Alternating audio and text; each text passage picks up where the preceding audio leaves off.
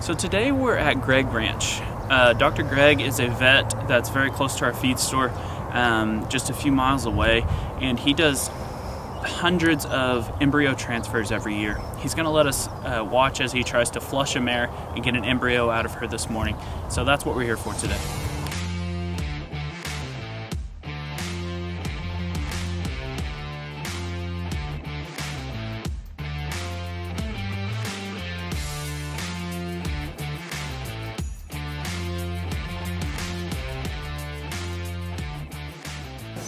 Hello, everyone, and welcome to a very scientific episode of Steve's Horse Show.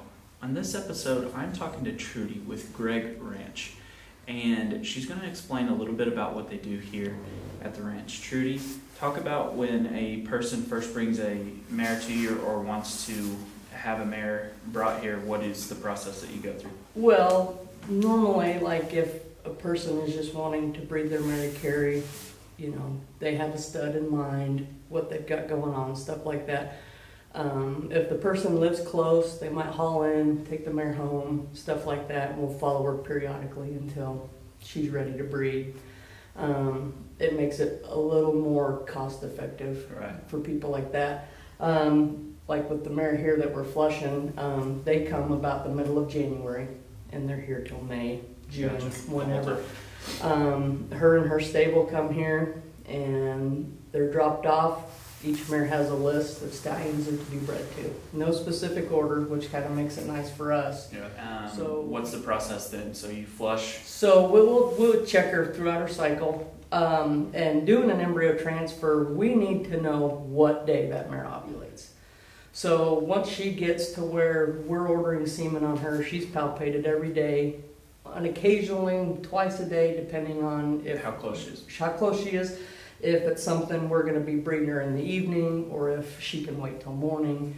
Um, So it's down to it, the. it comes down. hour, but when you they get really, yeah. Um, we're going to breed as close to ovulation as possible. So that mare is literally walking in these stocks six to eight times a day, 24 hours a day, Gotcha. middle of the night, whole nine yards. We try not to do it in the middle of the night. We try to set them up so they're going to ovulate during the day. Gotcha. Um, Trudy says she charges you extra if your horse ovulates in the middle of the night. well, it makes life a little inconvenient, but um, Call and night then- service call. Night service call, right? After hours. After hours. Um, not in this business. So once you once you flush it, talk about where you go now. so we find it under the microscope, and then it's transferred out of the search bowl uh, into a four-well solution where the embryo can be washed. Um, if a mare's got some debris, or we have flushed some mares that you can't even see through the fluid, and by golly, there's a little baby in there, and it's like a rescue mission. Then Yeah. get him out of it because it's not a good environment. Gotcha. Um, uh, sometimes we'll put a little antibiotic in the solution if something that happens and let them kind of marinate in it Gotcha. and get healthy again. Um, and then in that case, once usually so the embryo actually is growing horses in a bowl, so to say. well, no, they're growing in the mare. We take them out of the mare, Check on them. check on them, clean them up, and put them in another mare. Ask them if they're fast. Yes. Are you fast? Can you cut a cow? Um, um, are you going to be Palomino? Are you a filly? You know, most people are like, I want fillies and I want color. Ask them questions. yeah, we ask them questions. So then, so where do you take them from there? Okay, well, um, like we have a recipient mare herd that's here, um, and then we have a recipient mare herd. That You basically got because they have to cycle. At they the have same to time. cycle at the same time, so every day we're palpating recipient mares. Um, and ideally, for people that want to have their own recipient mare, like if they have two mares, I want to breed one, use the other Here's one as a recipient Gotcha. mare.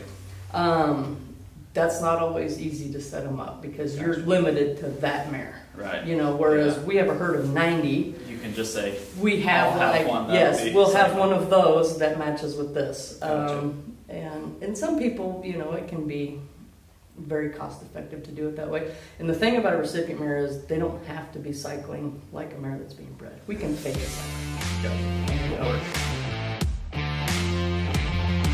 Today was a sad day. Hopefully, we weren't bad luck, but Dr. Gragg went to flush one of the mares that they thought had been bred and could not find an embryo. So, um, after two tries, he had um, said that he's going to continue on with uh, other flushes because he has a lot of flushes today. Um, so we didn't get to uh, watch an embryo get put into a recip mare, um, but the process is pretty easy for that, so that wouldn't be uh, very exciting to watch.